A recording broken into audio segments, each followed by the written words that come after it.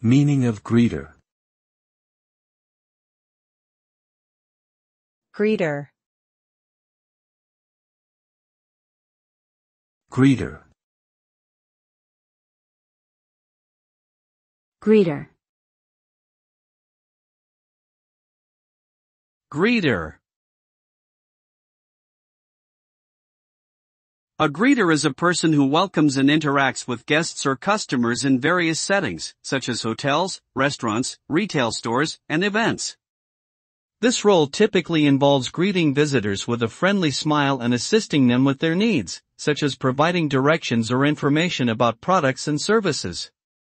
Greeters play an important role in creating a positive first impression for customers and facilitating a smooth and enjoyable experience.